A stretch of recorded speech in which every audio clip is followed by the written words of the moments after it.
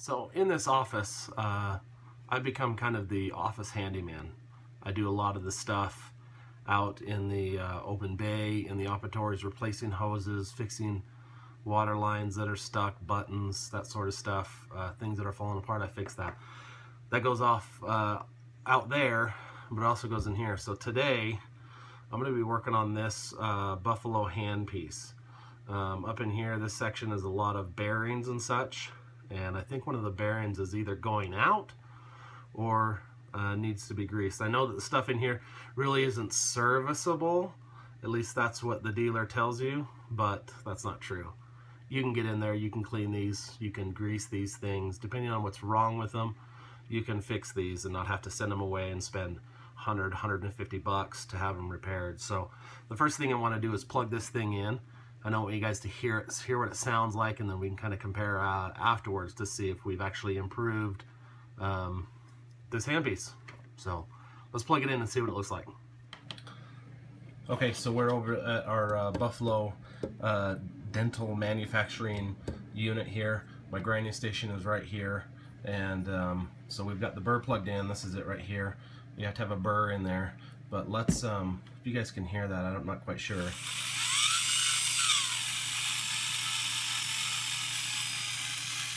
You may be able to hear it way down here, but up here you can actually kind of feel it as well. But it shouldn't sound like that. So we're gonna take this thing apart and let's get in there and try to fix it. Thing apart, some of the things we need obviously is the handpiece. We have a few Q-tips over here.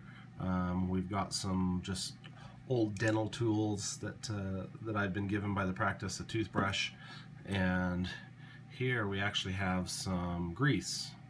So that's what we're going to repack those bearings with, uh, depending on if they're not too deteriorated. So let's just take this thing apart. Basically you twist it and that pops out right there. Now you gotta be careful, there's some bits and pieces in here that'll actually fall out, but we don't need any of those, so we'll actually put this off to the side and then basically we're only going to be dealing with this section right here. So in reality, I should push that, we're going to be dealing with this section, so we really don't need this either. Nor do we need the spring. There's this little section right here that we don't need. But what we need to do is make sure that this goes back together the way that it came apart.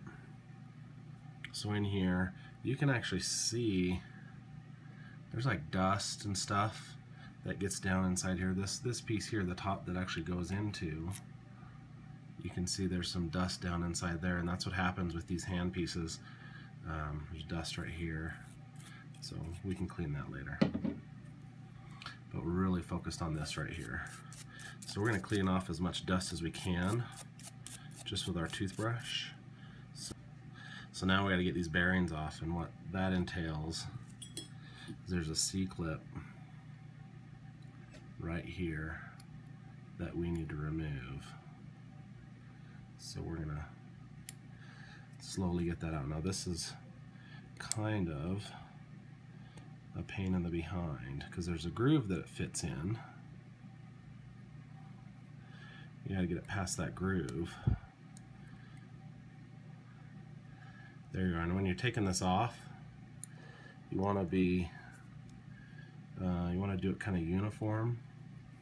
If you look at it, you can kind of see it start coming up. You want to do it uniform. You don't want to pull one side completely up and not the other side, or you'll actually torque that clip.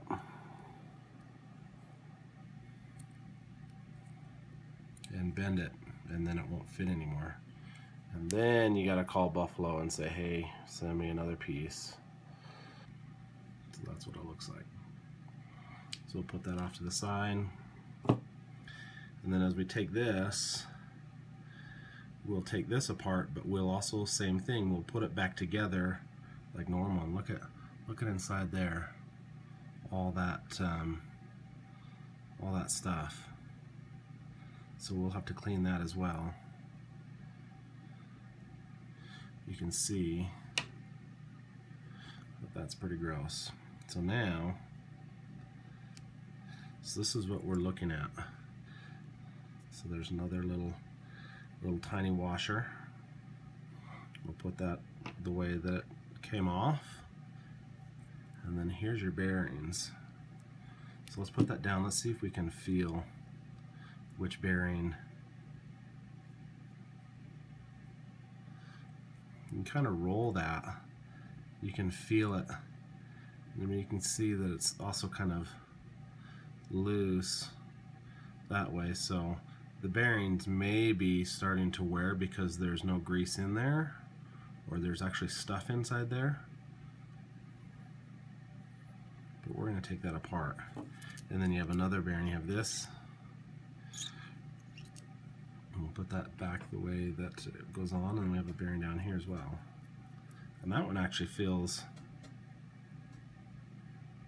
that one feels that actually has no if you wiggle it back and forth this way you can feel and there's like very very little movement where I think this one let's put that one back on there. Yeah that one has a lot. I can feel it. Anyway so let's start with this bearing here. Let's take this sucker apart and see if we can figure out if a bearing's blown in there. Okay, so if you talk to the manufacturer, they'll say these bearings are not serviceable. And in reality, a normal individual wouldn't service them, but that's my nature to try to figure out how things work and if I can make them better, if I can fix them without having to spend money to fix them.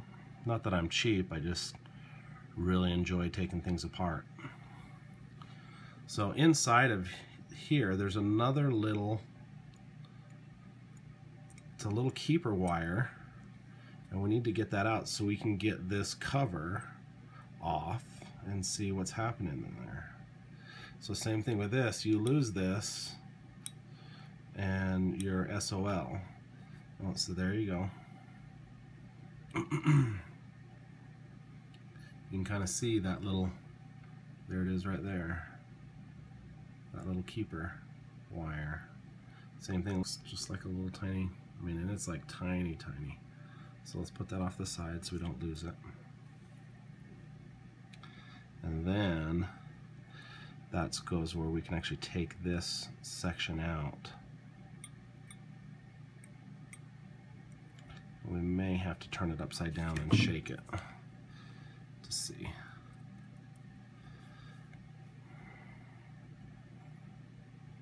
Okay, so it took a little off-time camera to actually get that um, little section out, but it's, again, here's what it looks like. Just a little race cover.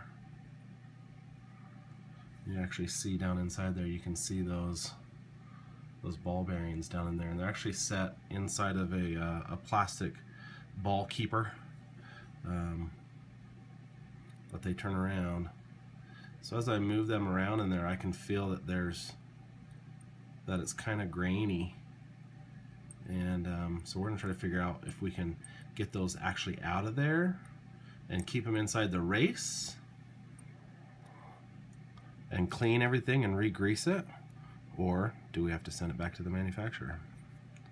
So let's let's uh, let's take some time and try.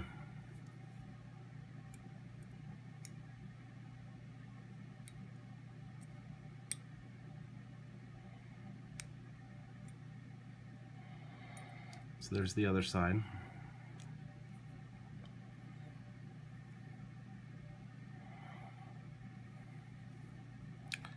And I don't know if we will be able to. But at least it'll give us an opportunity to clean it. And you can um, get that in focus. You can see them down in there. So let's uh, let's take this to the cleaner and clean it. Okay, so very carefully, um, I used some uh, grease dissolver um, to uh, get a lot of that grease and, and crap that's that was in there, and very gently with some compressed air, I blew out um, and rinsed off those bearings. So now they're clean, they're dry, and we're going to add some grease back in there. So we're going to use these Q-tips here. Some grease. And we're going to pack it. This is very similar to packing uh, bearings on a car. Just on a really, really small scale.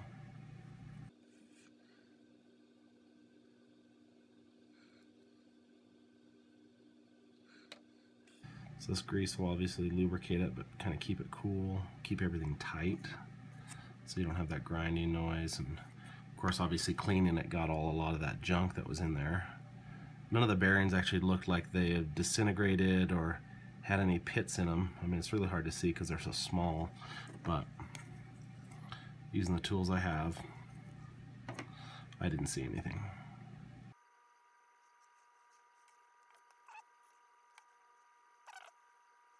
So the other side actually has the bottom of the bearing ball keeper. Uh, the cage, I guess that's the technical term. So we're, we do not need very much down here, but you still do need some. Got some on the pinky.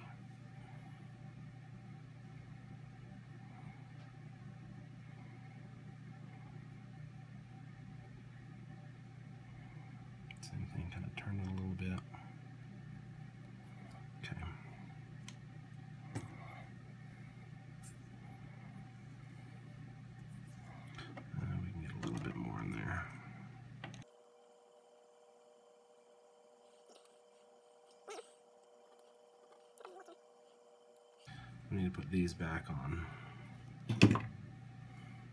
So these, you really can't tell, but they're kind of, they're definitely shaped, they're not flat. You gotta make sure that the way that they came out is the exact same way that they go back in. And so they'll actually go in this way. Actually push that down now it's seated and we'll do the same on the other side.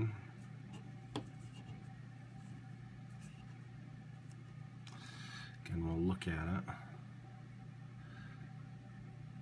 Kind of see, make sure it goes the exact same way it came out.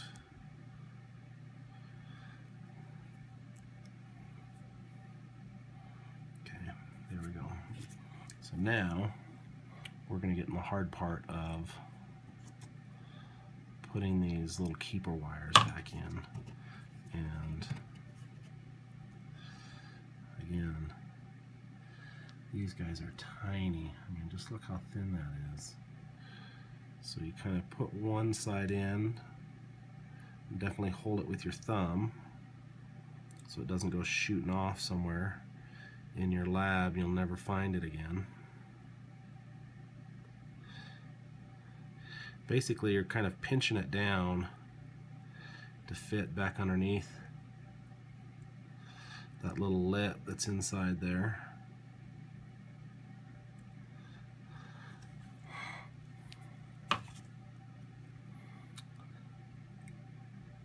And that side is completely seated. Now, go this other side.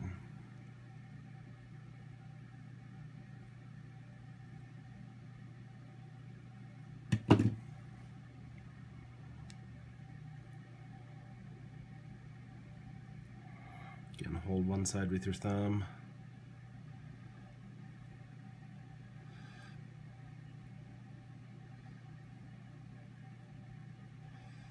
Gotta get it in the in the groove first.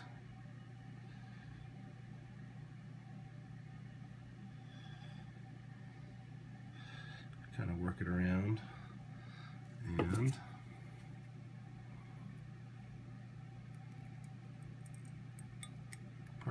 that is completely seated. There we go. So now definitely before we put it back in the um, in the handpiece, we want to clean off any excess grease on the outside because that'll collect dust from your grinding station or anything you're working on like a magnet.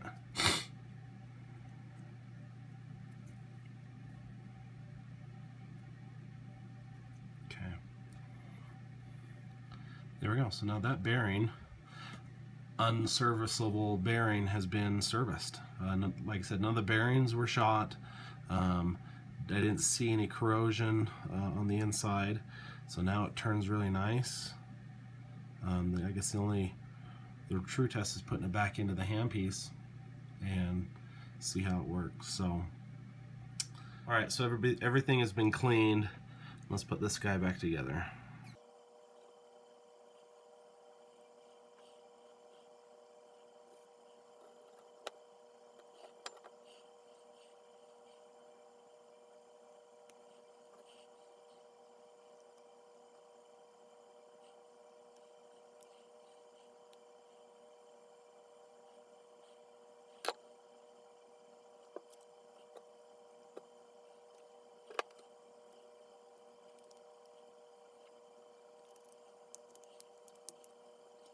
There you go. Let's plug it in and see what it sounds like. Okay, so we're back over at our Buffalo unit here. Got it plugged in, and uh, let's listen to it. You see that that's turning there. Now there's still a little bit in there but it is definitely a lot better than it was before.